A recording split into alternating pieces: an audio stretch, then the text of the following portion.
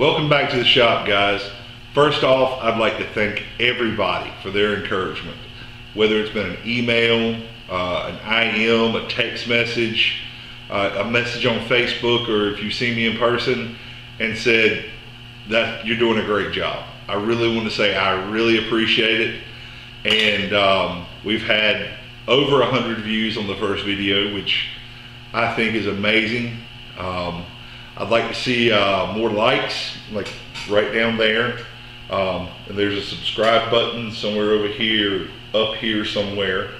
Um, but do that, like and subscribe. That way I know that people are seeing it and they want to see more of it. Um, tonight I'm going to uh, put together one of my best selling pieces that I'm making right now, which is a dragonfly made out of uh, some uh, quarter inch rod, um,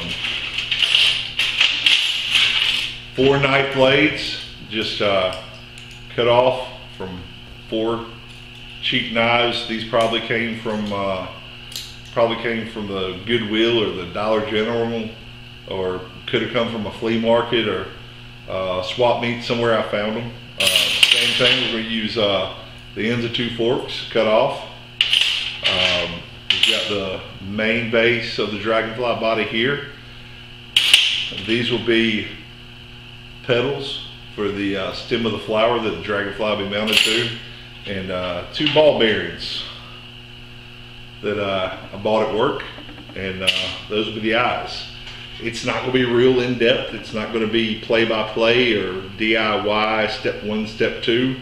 Uh, probably be a lot of fast forward video, but you'll be able to see the process and how I'm doing things. Um, let's see, I'm checking out my notes here. I have scribbled down. Uh, see, we covered that, covered that, um, that and that. Um, I was at Koi Pond in Rocky Mount over the weekend. Got to uh, hang out with a great bunch of folks down there and uh, saw one of the owners. And uh, we talked briefly about maybe uh, having a couple pieces um, down there at Koi Pond. So look for that this spring. Uh, maybe more, uh, maybe an event this uh, spring. I'll let you know more details as as that progresses. But um, this is my first video of actually making something. Let's see how it goes. Thanks. Always wear your safety goggles.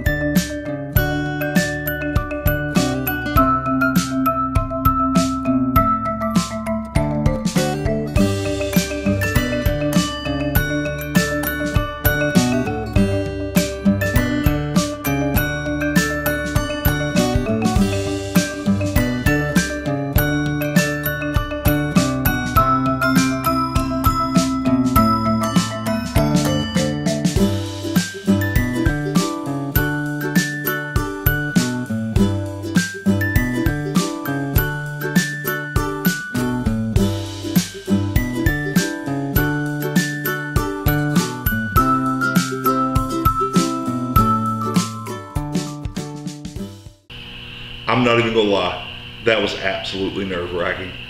I have never tried to weld and film anything in my entire life and trying to make sure everything gets in a shot and um, everything is clear. Uh, the sparks aren't flying towards the camera.